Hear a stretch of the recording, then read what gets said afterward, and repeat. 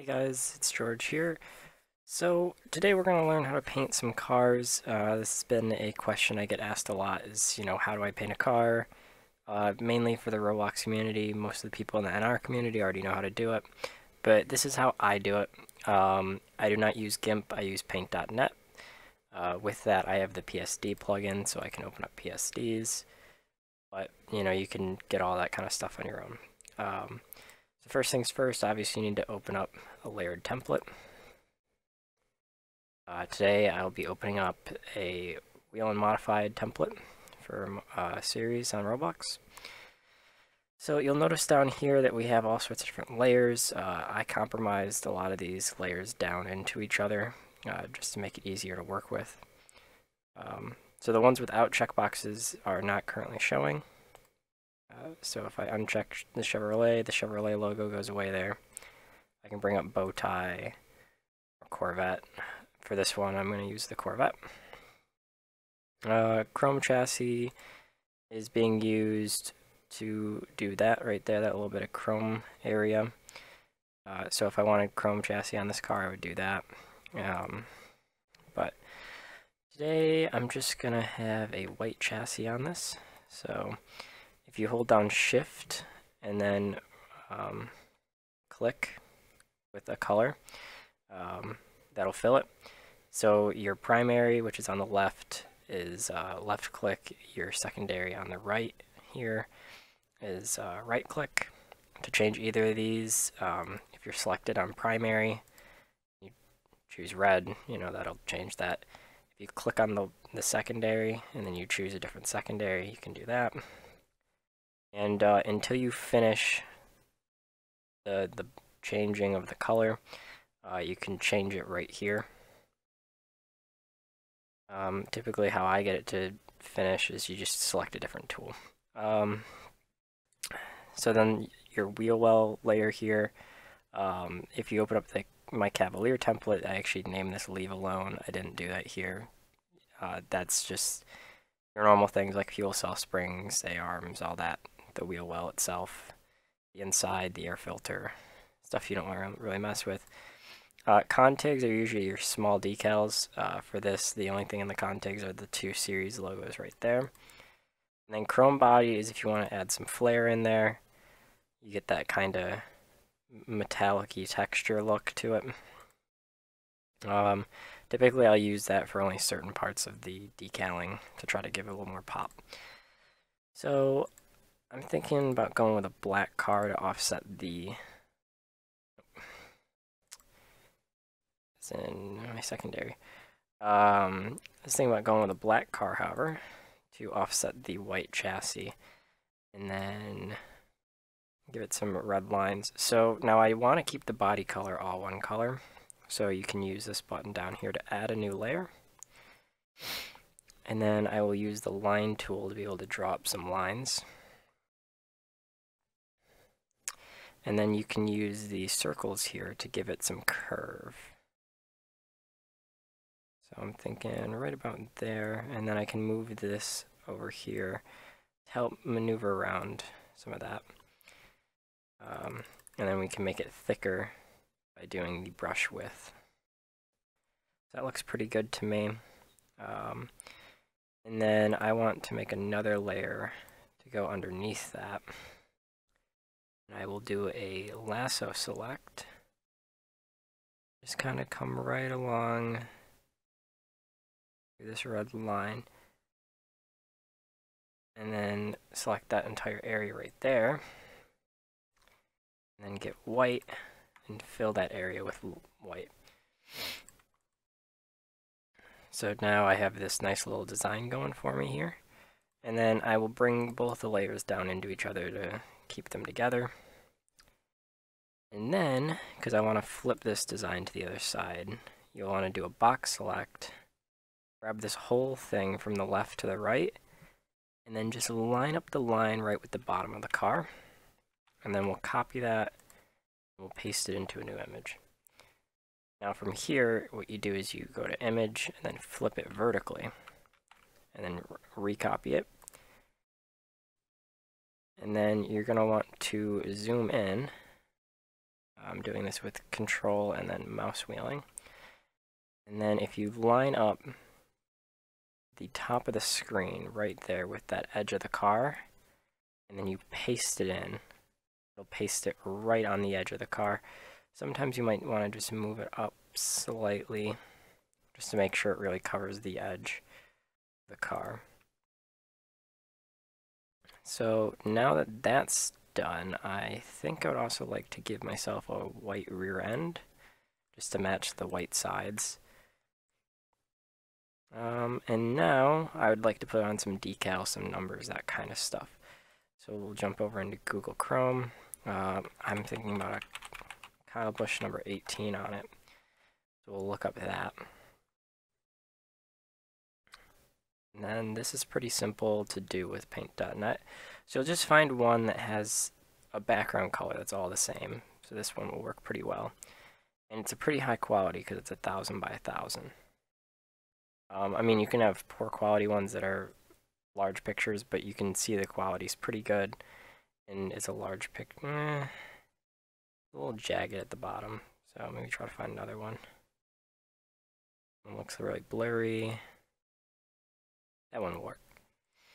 So we'll copy that. We'll bring back over to paint.net and paste it into a new image. We don't want to paste it into our image yet. So now using the wand tool, you can click on areas that you want to select that are all the same color. Uh, usually I turn up my tolerance a little higher, um, but not too high. And then if you hold down shift and you click one color, you can select all of that color. So here I'd be selecting all of the white. Um, which is fine for this. And then I'm only going to select the black outline. I don't want the small black outline. I'm only going to select that bit there. And then we can go to edit and invert selection to get rid of that small black outline. And lastly, just fill back in the white area here. Um, however, I don't really want white on the white, so I think I'm going to fill the black in with red. And then this will work good for a roof number, but I want one that's different for the sides, so we'll paste a new one. And I want black on the inside, or on the sides. Uh, now, what I like to do to try to get the best quality out of it is because Paint.net will actually scale for you and it will try to save the image as best as possible. So I want the max height of this to be about 100.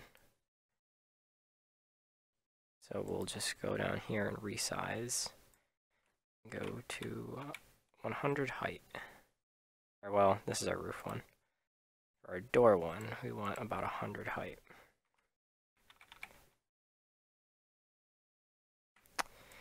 So now we will paste that into a new layer. You don't want it on top of the design layer. If you paste it in the design layer and you try to put it over, see that happens. It tries to take the transparency out of that area. So we'll paste it into a new layer and bring it right down in like that. And then we will flip it around and do it for the other side as well. And then lastly, I need to figure out how much I want on the roof. So about 150, I'd say. So I don't want to take up too much of the roof.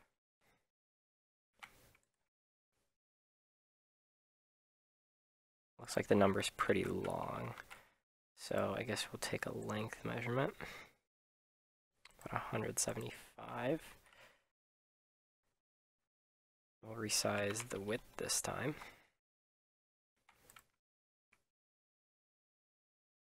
And that will match in pretty nicely. And then I want to put my name on it. So I'll do that like so and then you know choose whatever style font text you want um, I have this gray Malkin it's a much longer form of text, but I like it. So now we will grab that, flip it around in a different image, and repaste it back in to put on the other side. And now, lastly, to really make the car my own, uh, I need sponsors for it. So, following the Kyle Busch idea here, we'll do Z-Line Designs. It's uh, one of his sponsors he used to have.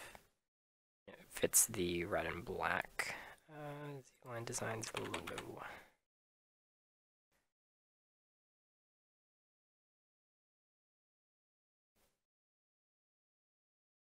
Um, so we'll use this one.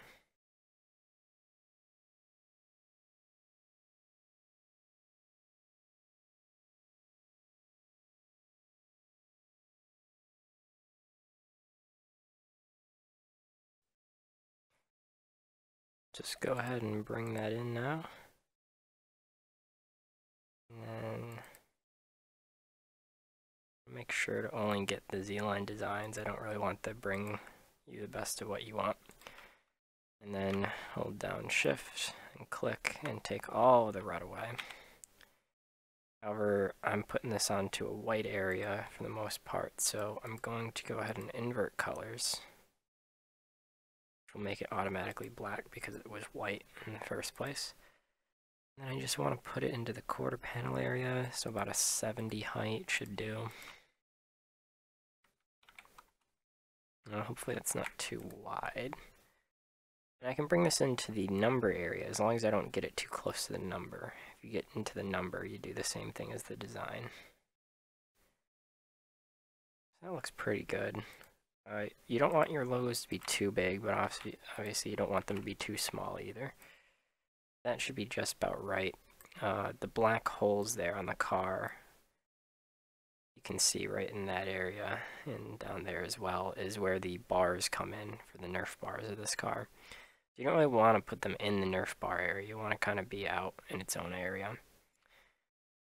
And then I want it much bigger around the rear end.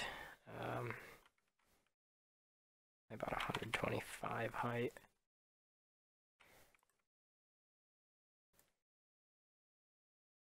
Yeah, that'll do nicely put that right there. And then I feel like having the number on the back too, it's kind of a typical modified thing to do. Just height, about 50 or so. Well, it's going to be wide, so. Yeah. About 65 width.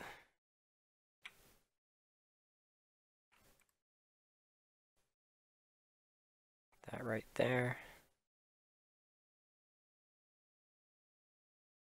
And then I do want to put the Z-line design, well, I want to kind of, you know, divvy it up a little bit.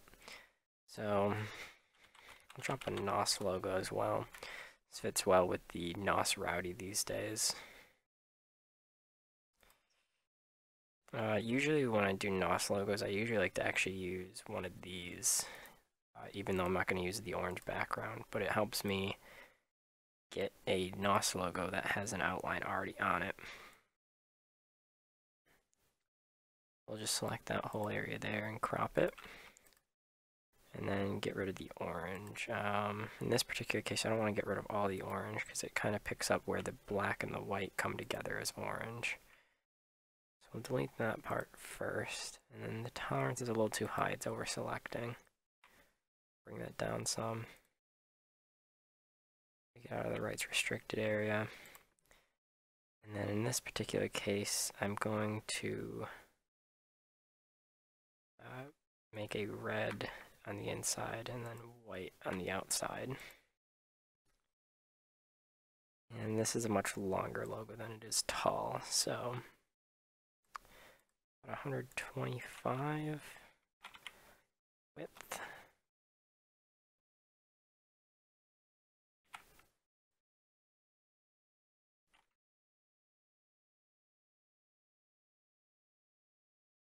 looks pretty good. Lastly, I'll put one kind of in this back area here. It's about 175.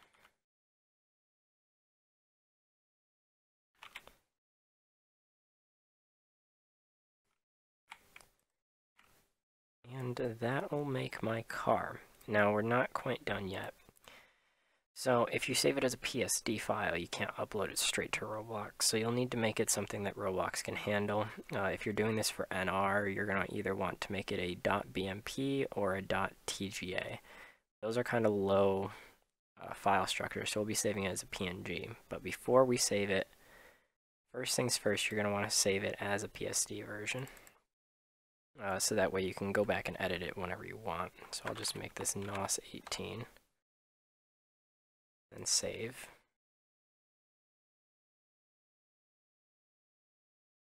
And then, while making it a flat version, turn off the mask. You want to do that so that way gray lines don't appear kind of randomly on your car. And then save it as a PNG. Just name it George18. And then you can do all this kind of stuff if you'd like, but you don't really have to. And then you're going to want to make sure to flatten it. And after that, you're all done. That's, uh, that's the full scheme, and you're good to go. Thanks for watching.